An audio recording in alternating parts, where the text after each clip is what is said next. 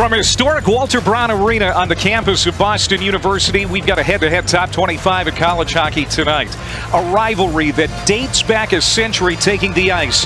The ninth-ranked Crimson of Harvard out of the ECAC and the eighth-ranked Terriers of BU from Hockey East this year. Sent around, and not able to clear. That was Jack Parr. Got it to the line, but not out. Now bouncing along the side of the net there. Kaplan trying to settle it down. Shot! They score!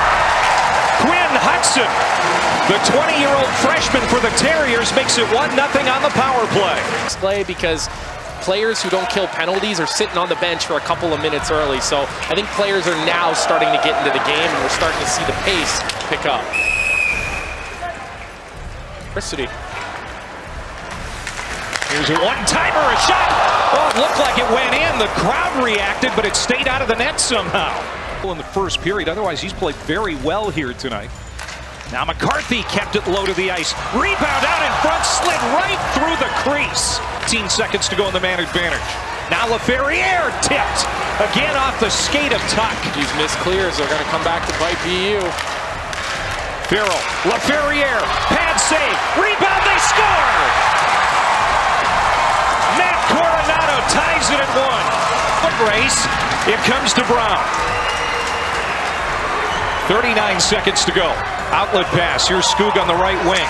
Brown going toward the middle. Fensore calls for it. He scores! It's over. BU wins it. Big win for the Terriers and a nice way to finish this one here, Walter Brown. Their 12th win of the year, the Boston Terriers in overtime, 2-1 the final. Yeah, I, I, mean, I thought that was a, I thought it was a great college hockey game. Um, I thought there were pockets of the game that we played really well. Uh, I thought there were times where we were actually dominating play. Um, we had some great chances. You got to give the goalie credit. Played really well. Uh, he made some big saves. Um, you know, they have a really good power play. I thought their power play gave them some momentum. Um, they had some good chances on that. I thought Drew Commesso played great. I thought our penalty kill was really good tonight. Um, they're they're up there in, in in the NCAA with their power play percentage. So I thought we did a really good job with that. Um, but overall, our effort from top to bottom was excellent. Um, and then it was it was great to see us stick with it after we gave up a goal late and then to win it in overtime, we stuck with it. Um, you know, we didn't get down, and then obviously at the end there, Dom, you know, made a heck of a play and a great finish. So it was great to see. Dom. Um, for coach or oh, well, yeah, overtime going in the third after they tied up late. How do you guys stay focused in a game that was so close, um, and you guys seem to um, kind of get stopped a couple times in the third? Yeah, I don't honestly think didn't really change anything where we were playing. I think we just kind of get back to our game and our plan and structure. So, um, yeah, in overtime we wanted to end it. Um, good thing we did. It was a big win for us. What did you see on that play against the goalie that made some really big saves, especially late in the game? Yeah, we, we were going glove on him all game, so um, decided to shoot low blocker and went in. So, yeah. Just you know, no easing back into the second half of the schedule. Just talk about having an opponent like this and in an environment like this uh, tonight. Yeah, it was awesome. It was packed. We knew it was going to be packed going in, so we we were expecting a great atmosphere, and um, it was it was awesome. Uh, a lot of guys were saying, "We hope we can, can we play every game here," but um, but no, yeah, it was awesome. Good good atmosphere, and we really fed off that. So it was uh, yeah. And Harvard's a great team, so was really good to play them first game back. It was a good test for us, and uh, good thing we came out to the win. So. And then looking to next week when you guys head to Arizona, what are the main things you kind of want to take from this game into that um, tournament? Yeah, I thought we had a great um, kind of full 60. I mean, obviously they got a they got a power play goal there late, but I thought for the most part we outplayed them most of the game. And um, you know when we play the way we you know we can play, it's it's hard to play with us and skate with us. So if we we bring that to Arizona, hopefully we can hopefully we can get our first uh, trophy of the year. So.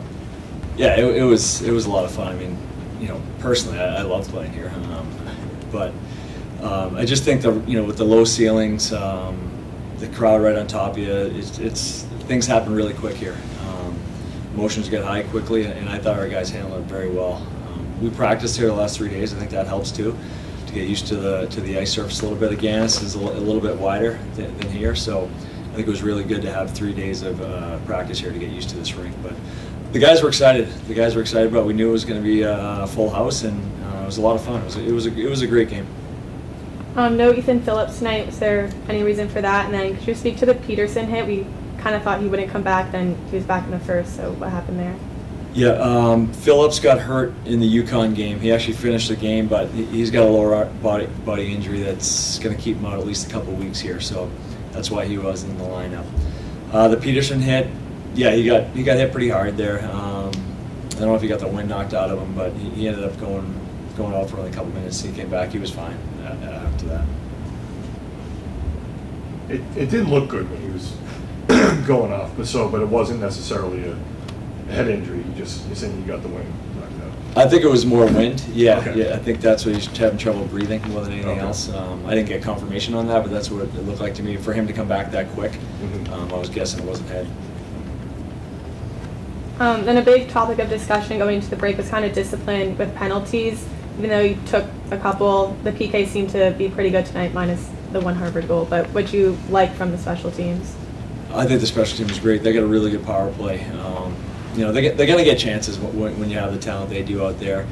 And uh, I think when they did, Drew came up huge. He came up he he came up huge for us. Um, I think our penalty kill was more aggressive tonight, and that's what we're trying to do. I, I thought the first half we weren't great uh, on the kill, and we're trying to focus on being a little bit more aggressive, uh, making sure we get our clears. Uh, I think their their goal ended up being even strength. I think it was the power play had just expired, um, so I think it ended up being an even strength goal. So it's going to help our percentage at least.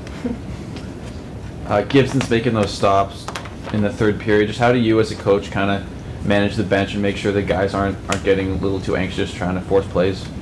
Yeah, we talked about you know over here to the ice. Um, you know, it's been hot the last couple days, so the ice was soft, and we talked about you know just keep getting pucks on him. You know, you got to give him credit; he played really well, and um, you know we had some point blank chances, and sometimes you got to tip your hat when a goalie's playing like that. Uh, but at the end of the day, I think we were, like Dom said, we were going glove quite a bit on him, and then um, you know Dom beat him blocker side. What did you see in his game tonight? Obviously, he scores the winning goal. He was, just seemed to be really involved, kind of everywhere. Just Yeah, I, I can't say enough about Dom. Uh, to be honest with you, he's um, he's been incredible this year from from day one. Um, he's been a great leader. Like he he controls the game offensively, defensively. Uh, he's one of the most competitive kids I've been around. Um, cares about his teammates, so he, he's been unreal this year in, in my eyes. And I think you know if you watch, come watch us play, I mean you're gonna notice him pretty quickly.